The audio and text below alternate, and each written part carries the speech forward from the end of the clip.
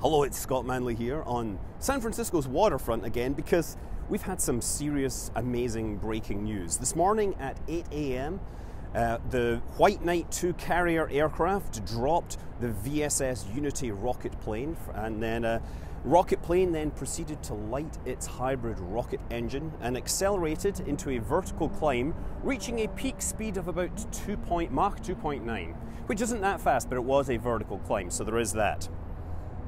From that point, it proceeded on a ballistic trajectory, carrying it to an altitude of 82.7 kilometers, which, by some standards, makes it the first crewed spaceflight to fly from US soil since the space shuttle was retired. So, this is big news.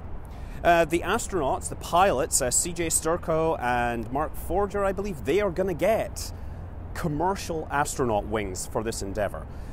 Um, and of course, this is the sign that Virgin is, is finally really getting its act together, getting its spacecraft flying, and will be able to carry passengers in the coming year.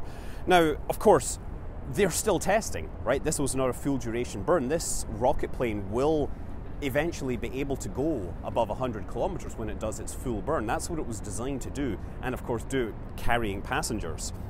The argument for you know 80 plus kilometers being the altitude at the edge of space. There's a couple of things behind this, and I did actually a video earlier this year standing on top of a mountaintop where I tried to explain why some people were wanting to lower the altitude.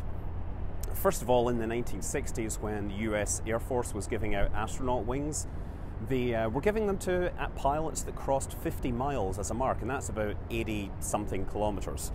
The 100 kilometers came along kind of at a later date, and uh, there's actually a physical argument that is related to observations of how satellite orbits decay. Now, satellites, as they get lower and lower in the atmosphere, they get they experience drag, they slow down, and they eventually fall back to Earth. But if you're on an eccentric orbit, it's quite common to see satellites, say, that are returning from geostationary orbits, uh, you know, geostationary uh, injection burns. They will dip into the atmosphere and then slow down a bit and then go back out into space.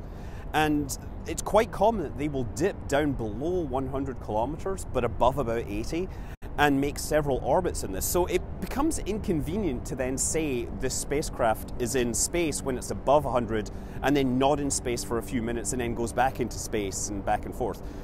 But spacecraft that fall below about 80 kilometers, they basically decay much more rapidly. So it's a pretty strong argument to say that 80 kilometers is a more reasonable altitude for the edge of space. That being said, I'm, you know, I'm prepared to give you your 100 kilometer Kármán line. Just understand that, you know, you can only put this off for a little while because VSS Unity is almost certainly going to fly above 100 kilometers in coming months, weeks, whatever. This was um, Richard Branson kind of surprised everyone by say, in a, saying in a news interview that they were going to fly people to space before Christmas. And it's space by some definition that happens to fit marketing. Of course, you know, this is not related to Virgin Orbit, which is also doing test flights with their launcher hardware.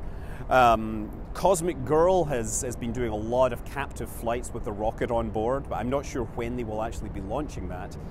Uh, you know, by some standards, the energy taken to get into a suborbital trajectory and fly above 100 kilometers is about 3% of the energy required to get into orbit. But that that's a bit of a misnomer because really it's the velocity that matters, it's the delta V, and if you figure out in terms of delta V, it takes about five times as much delta V to get into Earth orbit as compared to getting into a 100 kilometer suborbital trajectory. So, you know, regardless, it's a very exciting time to watch this. And of course, you know, looking forward to proper rocket flights in the coming year. We've got Dragon is very much looking like uh, they will have their Dragon 2 test flight in January. Of course, uh, they're still dropping hints that this date might shift uh, for various reasons. Not really sure. Um, also, for spaceflight watchers, there was a really interesting test yesterday of an RS-25 engine. It was put on the test stand and proceeded to fire, and then flames started shooting out the sides of the, the top of it. So that's an interesting video that I'm obviously putting up here. I'm thinking that most likely it was related to ground service equipment, like that is the pipes feeding into it, simply because the engines we've seen in the past shut down pretty quickly, whereas this one was running with burning fuel spouting out the side for a while. So I'm thinking the shutdown criteria were not inside the engine, and more likely to be related to the test stand, but we will we will find out. Still, it's a cool bit of video. Anyway, congratulations to Virgin for your historic flight. I'm Scott Manley. Fly safe.